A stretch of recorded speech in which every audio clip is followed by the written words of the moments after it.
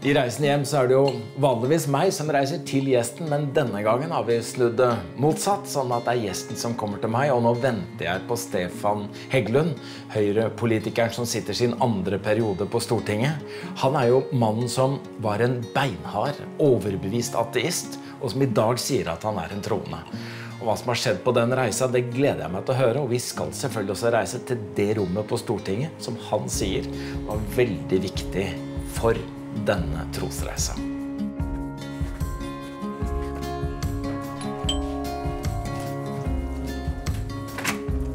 Hei. Hei. Så hyggelig. Velkommen til meg. Hjertelig takk. Strålende. Hyggelig å se deg. Du fant veien?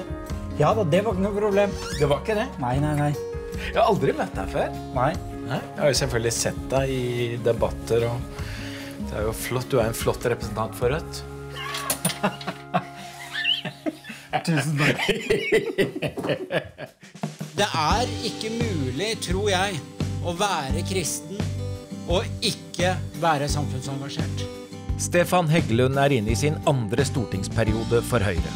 Som representant fra Oslo fikk han ny tillit av velgerne under det spennende valget i fjor høst.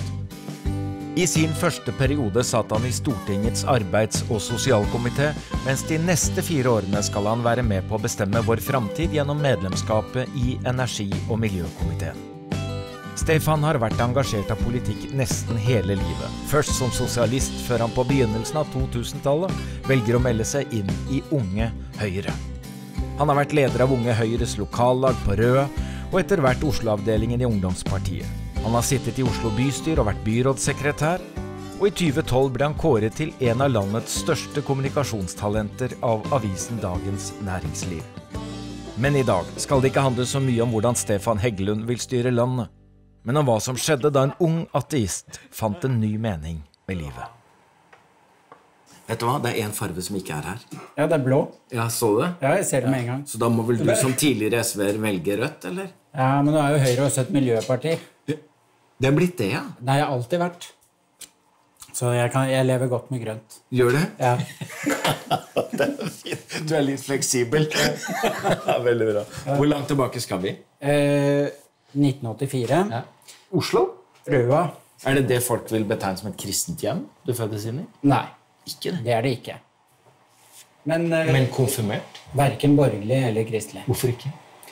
Jeg skjønte aldri poenget med konfirmasjon. jeg. Hva slags tanker gjorde du deg knytta til tro, til Gud, som ung tenåring? da? Vi må litt lenger tilbake. da. Ja vel. Ja. Fordi første gang jeg svarte til noen at jeg ikke tror på Gud, som jeg kan huske, det var på bussen på vei hjemover fra Sørkedalen skole. Og da var det kristendomslæreren. Han spurte meg rett ut på bussen hjem om jeg trodde på Gud. Så nei, jeg tror ikke noe på det der, jeg. Det var kanskje sånn i femte klasse eller fjerde klasse eller noe sånt noe. Ba du ikke en bønn eller hadde noen form for relasjon til Gud? Jo, kan, jo, men jeg kan huske at jeg har gjort det. Men bare i sånn helt sånn desperate øyeblikk. Altså desperate for et barn, da. Vi skal ut og reise, og Stefan har bestemt at han vil starte på Røa i Oslo. På Hovseter ungdomsskole, dit Stefan kom etter trygge år på barneskolen i Sørkedalen. Du, Røa, Røa, ja. øh, det var et godt sted å vokse opp. Du, det var så ok, altså. Å Var det vokse opp på Røa. Ja. Det er jo gardeleiren her, da. Det, er- vi brukte jo bassenget der til å ha svømmetrening i barnehagen. Mm. Her er skolen inn til høyre. Hvilken skole da? Nei, det, hvis vi skal til ungdomsskolen, så ligger den der oppe. Langt oppi der. Da kjører vi opp der. Ja. Jeg hadde en kamerat da, som bodde i de blokkene her. Han var alltid veldig, for han visste at jeg ikke syntes det var så veldig gøy i storefri på ungdomsskolen. Så vi gikk alltid hjem til han og spiste nudler. Var det sånn det så ut her når du gikk her, eller? Ja, bortsett fra at de har pusset opp eller bygd nytt av gymsal. Dette var bare en gammel hall.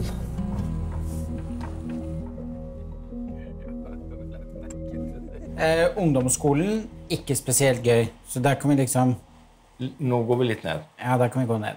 Ungdomsskolen, det, det likte jeg ikke. Hvorfor det? Jeg hadde ikke kjempemange venner på ungdomsskolen. det hadde jeg ikke. Var du politisk aktiv allerede mens du var eh, i ungdomsskolen? da? Jeg var medlem av SU, men jeg var aldri aktiv. Men man må jo både være bevisst og engasjert i alle fall, for å melde seg inn i et politisk ungdomsparti. Ja. Eller? Så engasjert var jeg, Det var du. men jeg var ikke aktiv i partiet. Nei. Men jeg var veldig og jeg, Politisk engasjert og bevisst. Absolutt. Når jeg tenker tilbake på det nå, hvorfor meldte jeg meg inn i SV? Jeg vurderte jo Rød Ungdom, som er enda et hakk lenger til venstre. Eh, Men så ble det SU. Litt tilfeldig at det ble SU istedenfor uh, RU. Eh, Men jeg var 13 år. Veldig opptatt av rettferdighet og ja. Så for meg var det helt naturlig da å være på venstresiden.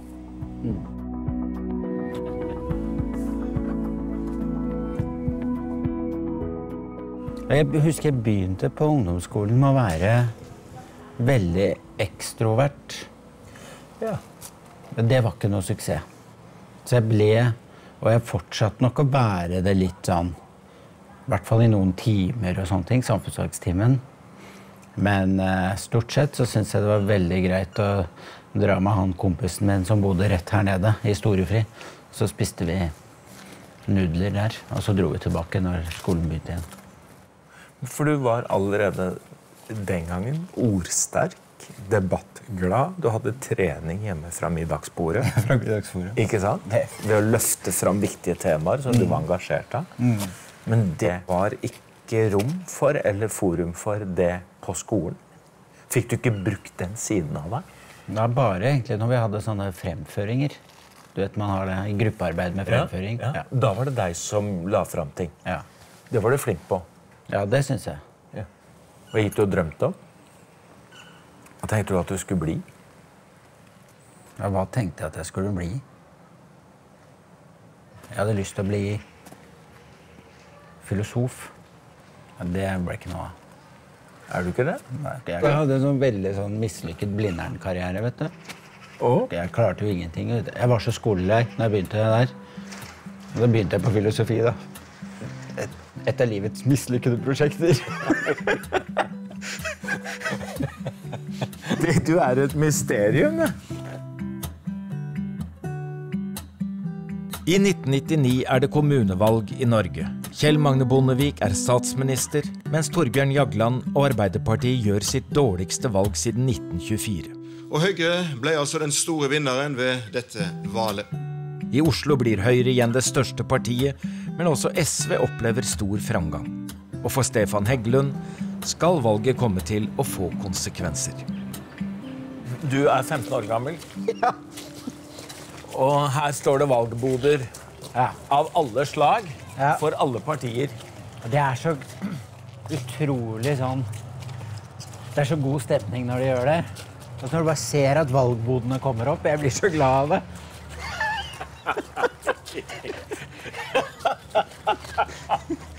og da jeg var på den alderen, vet du, så gikk jeg og kverulerte. Jeg, hø jeg høres jo helt forferdelig ut, men var jo opptatt av å kverulere med alle partiene. Så jeg stoppet ikke på SV-boden, da. For da var du SV-er. Ja, så jeg visste jo at de har jo rett, så jeg trengte ikke stoppe der. Så da kunne jeg bare kverulere hos Frp og Venstre og KrF og, og Høyre. Og høyreboden var egentlig her. Den er alltid her. Og jeg kom hit klar for å kverulere og diskutere. 15 år gammel. Pubertal. Obsternasi. Nerd. ja. Og så sto det en på høyreboden som tok meg veldig på alvor. Og det var det jo ikke så mange på de andre stedene som hadde gjort. Og det var ikke noe rart, for de skjønte jo hva jeg drev med. Altså, jeg bare kverulerte. Men det brydde ikke Inge Lønning seg om. Det var Inge Lønning Ja. som sto på stand her Ja. for Høyre. Ja. Og en time Nei. sto han og snakket bare med meg. Han tok meg veldig på alvor. Diskuterte. Og plukket fra argumentene som jeg hadde, og hadde en god diskusjon. Med, og viste meg stor respekt. Det glemmer jeg aldri. Og så begynte jeg å tenke litt. Så fant jeg ut at jeg er ikke sosialist. Etter møtet med Inge Lønning melder Stefan seg inn i Unge Høyre. Noe som betyr starten på en ny tilværelse for den unge gutten. Og nå er vi tilbake der Stefan har tilbrakt mesteparten av ungdomstiden. Høyres hus. Det så ikke sånn ut da jeg var her første gang. Ikke? Nei, nei, nei. Da var det veldig slitt. Å ja. Ja. Men dette sånn Alt med dette marmor og sånn, er det også nytt? ja. Ja vel. Ja. Men en av de negative tingene med oppussingen det var jo at Unge Høyre ble flyttet til tredje. Ja. Tusen takk. Dette er Unge Høyre. Dette er Unge Høyre. Dette er hjertet Egen Unge. Høyre. Så her. Socialist. Inspectors all around. If you want to call your soul your own, vote conservative. Klart. Er det Erna? Det er lenge siden, altså. Det er fra 1989. Hvordan ble tida for deg i, i Unge Høyre? Altså Unge Høyre, det ble jo nesten hele min ungdomstid. Da jeg var ferdig på skolen, jeg gikk på videregående, jeg gikk på Nissen i sentrum. Så dro jeg rett ned på Høyres hus. Det var en slags fritidsklubb. Det, på første møte jeg var på Unge Høyre, det var med lokalforeningen. Og det var fordi at de møttes for å diskutere de politiske tingene som det skulle diskuteres på dette møtet i Oslo Unge Høyre. da. Så møtte jeg med min lokalforening først. Det første spørsmålet jeg fikk, ja, er du verdikonservativ, eller er du liberalkonservativ? Være et sted hvor det er det første spørsmålet du får. Ikke det litt hyggelig, da?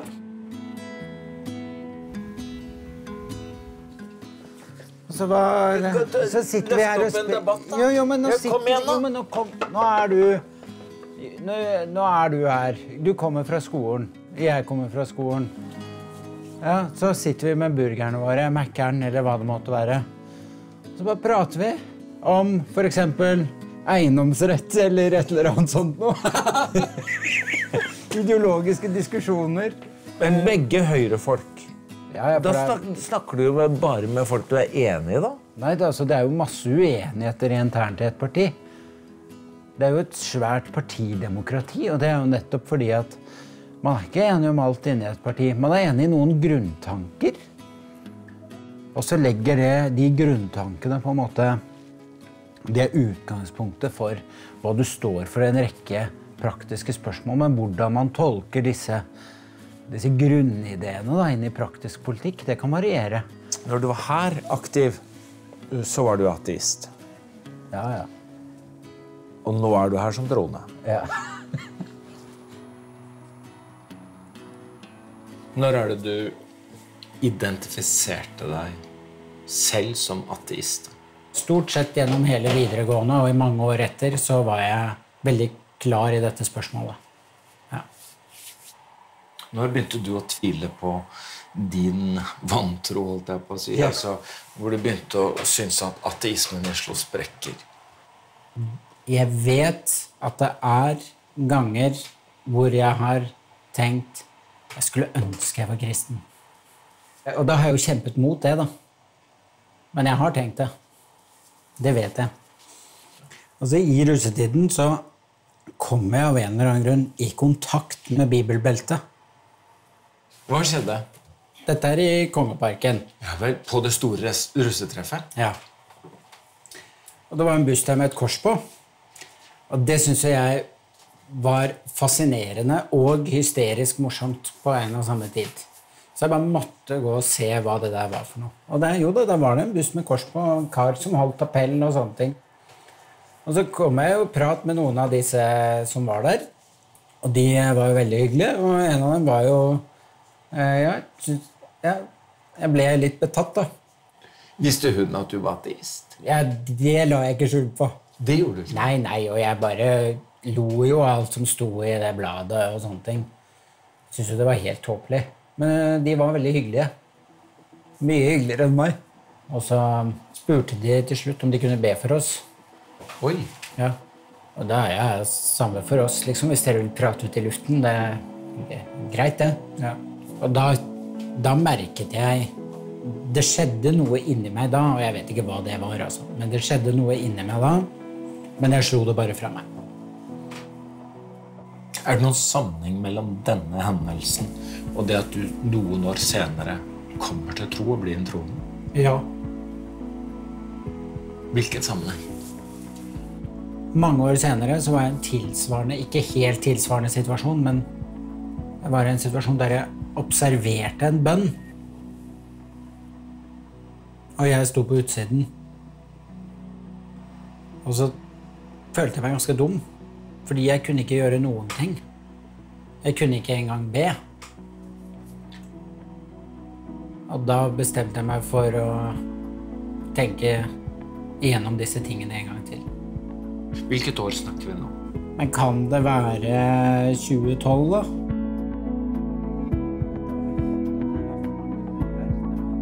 Vi har ankommet Stortinget, der Stefan har arbeidsplassen sin.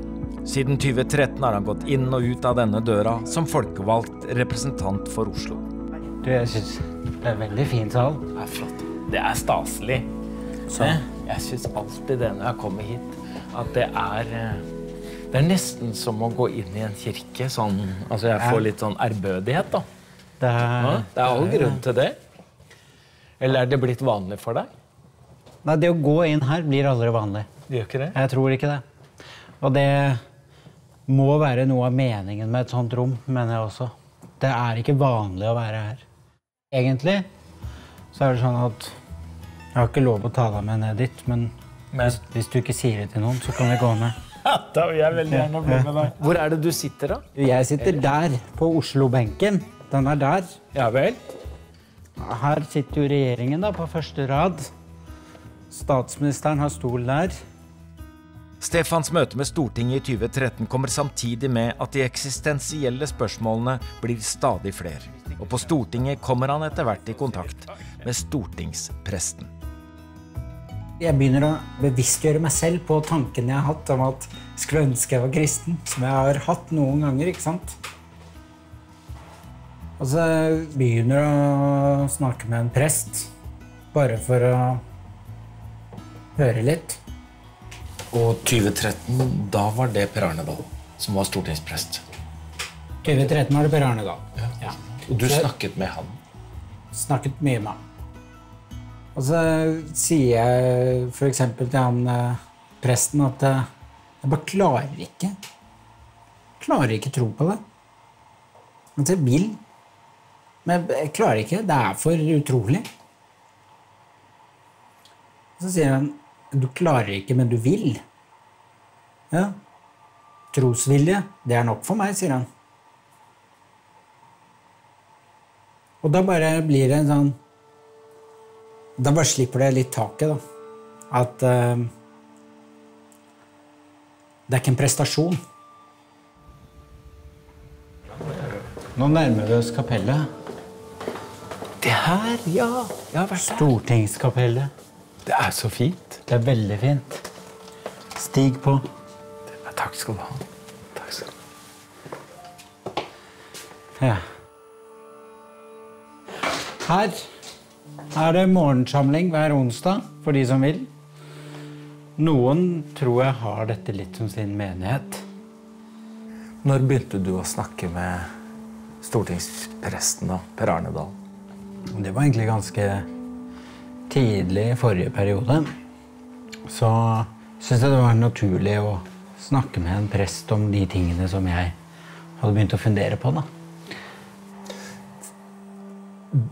Argumenterer eller begrunner du troa di noe rasjonelt? Er det sånn at du tror at f.eks. For fortellingen om Jesus er sann? Altså, tror du at han døde og oppsto, f.eks.? Er, er det sånn at du da tenker 'dette tror jeg på'? Ja. Jeg tror rasjonelt, og jeg tror det er Jeg, jeg gjør begge deler. Men jeg tror det er viktig å ha med det rasjonelle, for hvis man bare er følelsesstyrt, så kan alt være sant. Har du følelse av at du har landa i din tro? Har du kommet hjem på noen måte, eller er du fortsatt på vei? Nei, det jeg lurer på, er det mulig å lande i tro. Men hvis spørsmålet er føler man seg hjemme, så er svaret ja.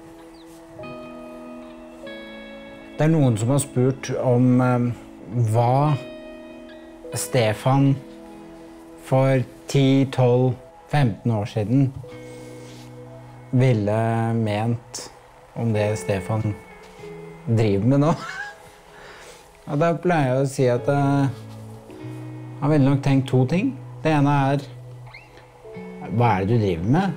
Men også endelig. Endelig har du sluttet å undertrykke stemninger i deg selv som du vet er der, men som du ikke vil slippe til. Ja.